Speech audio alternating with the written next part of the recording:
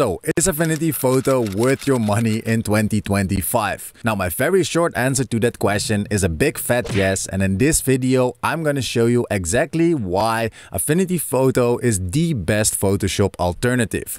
My name is Renz and I've been teaching Affinity Photo for over five years. And I've helped tens of thousands of Affinity Photo users become more skilled in the software and create better photo art.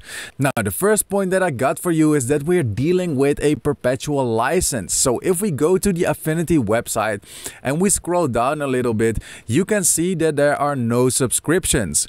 So version 2 of the Affinity apps are available to buy with a one-time payment. This not only gets you the latest and greatest versions of Affinity, but you will also receive free updates until such a time version 3 is released. They offer flexible licensing options. Either pick and choose which apps you want or opt for the universal license and get the whole suite on all platforms for one low price. So if we scroll up a little bit, you see that Affinity has a version 2 universal license and this means that for one price you get all apps so Affinity Designer 2, Affinity Photo 2 and uh, Affinity Publisher 2 for Windows, Mac and iPad. So this is an insane amount of value compared to other subscription models, let's say. Now, if you get the Affinity Universal license, there's an amazing thing that comes with it. And that is basically my second point, which is Studio Link. So if we scroll down a little bit, you can see that Studio Link is the most seamless workflow ever conceived in a creative suite. So from within Affinity Publisher, you can instantly access the advanced toolsets of Affinity Designer and Affinity photo without ever leaving your layout thanks to the world first Studio Link technology. No more app switching, file format conversions or frustration is the biggest game changer to the creative workflow in years. So let me quickly demonstrate this. In Affinity Publisher, I'm currently working on a document called The Alchemy of Self. And let's say I want to apply some adjustments to my um, picture. Now, I personally am way more proficient in Affinity Photo than in Affinity Publisher. So what I can do is go to the top left corner and just click on my photo persona. And now my whole layout actually changes to the uh, Affinity Photo uh, interface, let's say. So I've got all my Affinity Photo tools here on the left side. I've got my layers, I've got my mask, etc. And this is exactly um, the way I like to work. Now, let's say I want to add some illustration or whatever. I can click on the design persona and you can see that the whole interface immediately changes. I don't have to leave the software. This seamlessly switches between apps, which is just absolutely amazing. And this brings me to my third point, which is that they have a fully featured iPad app. So if you get the universal license, you can actually see that you also get um, all softwares on iPad OS.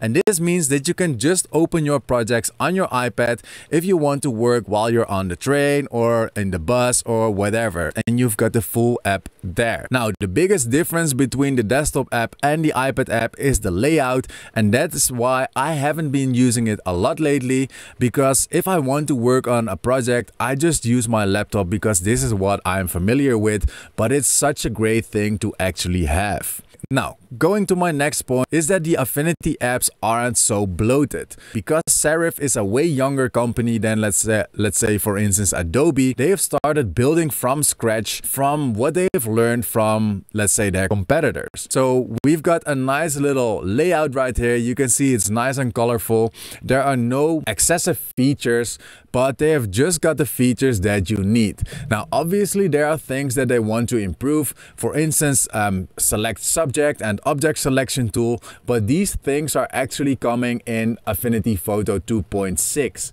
So they are still improving the software, but they are just adding the things that we actually want. So there are no plans, as far as I know, for any generative fill things. Um, there is no uh, 3D timeline, etc., etc. But if we want to work with photos, we basically have everything we have.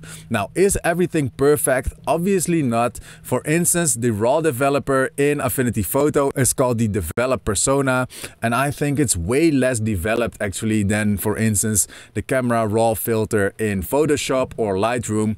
But these are obviously things that they can improve over time. And once again, we're not paying a subscription subscription, we're just paying a one-time price for the full suite. Now, my fifth point why I absolutely love Affinity and why I think it's worth your money is that they are working with non-destructive layers. So for instance, in Photoshop, you have to turn everything into a smart object to work non-destructive. This is not the case in Affinity Photo. So for instance, if I rasterize my background layer right now, I can just scale this thing up and down without a problem, without losing quality, without whatever. It just works the way it's supposed to work. Now, also one amazing thing, which could be a separate point, um, is that they have live filters, meaning that if I create a live filter, I don't have to create a smart object. I can just create a live filter with how whatever I want and these live filters are non-destructive, meaning that I can just click and drag this live filter around. I can remove it. I can do whatever I want with it and I can delete it. So the live filters are a separate layer. They aren't, let's say, ingrained into your smart object, meaning that they work non-destructive. Now, this brings me to my sixth point why I think Affinity Photo is worth your money, and that is the inbuilt layer masks for adjustment layers and live filters. So let me actually demonstrate this. So let's actually create a curves adjustment layer and we're gonna go quite extreme. We're gonna bump up the shadows, let's say. So we're gonna brighten up the shadows and we maybe want to keep our highlights about the same. So we're basically just brightening our darks, let's say. Now, let's say we only want this to be applied to the background. Now, what I can do is select my curves adjustment layer and you can see that if I grab my brush tool with a black foreground color, I can just brush out the effect wherever I don't want it, let's say. So Right now, you can see that it, this effect only applies to the background and this was super easy to do. So I've actually just created this very simple mask in order for the effect to, to be only applied to the background. Now you can also do this the opposite way around. So let me uh, press Command uh, Z a couple of times to undo. Let's say, um, well, let's actually create another uh, curves adjustment layer and this time we're gonna dark the shadows and we're gonna bump up the highlights to increase contrast. And obviously I'm doing this a little extreme to um, drive home the point, let's say. Now, let's say I want to paint in the effect. What I would do is simply with my curves adjustment layer selected, press Command I. So I invert the layer mask and now I can brush in with white and now I can do basically the same thing. So I'm brushing in with white and I'm only brushing the effect wherever I want it to be. So this also works for live filters. So actually we're to hide this layer for now. And let's say we're to create a Gaussian blur layer just for a demonstration. So I'm to increase the blur a whole lot. Now let's say I want to blur the background even more than the foreground, what I can do is two ways. I can either, let's say, brush out with black the effect from the foreground like this, or what we can do is invert the layer mask and make sure we've got white as a foreground color with the brush.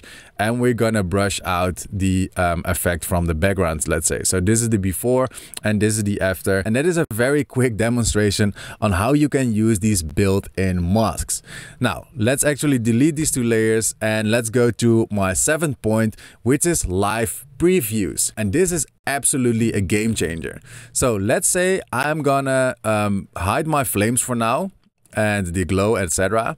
And let's say I want to create a new flame. So I'm gonna create a new pixel layer and I'm gonna go to my brushes. Let's say I'm gonna use my fire brushes. So this is the I Am Rensi fire brush pack. And you can see that if I just hover over my document, you can see exactly where my brush is gonna be. And if I think it's annoying that I have this weird outline, I can press caps lock on my brush and now you can see that the outline remove um, disappears and now you can see if I hold my mouse still, you can see we only have like a cross cursor. So I've got cap lock, caps lock activated right now and if I move my brush, I can only see the outline which is perfect because now I can exactly place my brush where I want it to be. So let me actually click right now and this is live brush preview. Now they've got more live previews as well. So if we go to our blend modes, you can just hover over the blend modes and you can just pick any blend mode that you think looks best. And I think this is super powerful because now you don't have to learn, let's say what the blend modes do. You don't have to click on it. You can just hover over the blend modes and it will actually live show you what it actually gonna look like. Now, obviously this preview works with other brushes as well. So for instance, um, we've got cloud brushes right here and you can see we've got a nice live preview. Then of course we got maybe some smoke brushes if we want to add some smoke to our flames or fire. Um, these are super high quality and I've actually made all of these brushes myself.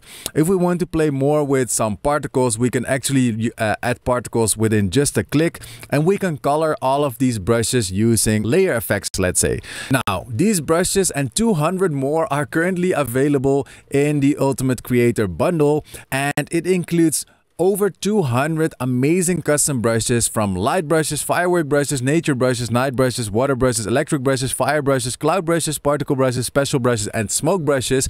But because it's Christmas, I've added some more brushes for you, which is my best selling fur brushes, which are the best brushes to actually make crystal clear fur selections. I've also in included my scribble brush pack and my tape brushes. I've included 50 high quality assets that you can drag and drop onto your canvas canvas without wasting a whole lot of time uh, on selecting and masking.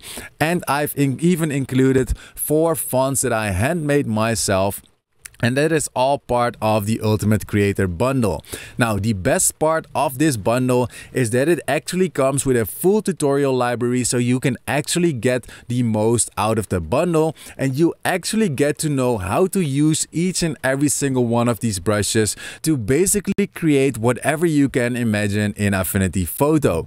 Now, currently we're running a huge Christmas sale, so the brush bundle is uh, 68% off, which means it is only 50 $57. So once again, you get over 200 custom made brushes, you get 50 amazing high quality assets, you get four amazing fonts, and then you get a super big tutorial library, which will actually show you exactly how you can get the most out of them. So if you're interested in this amazing brush bundle, click the link down below.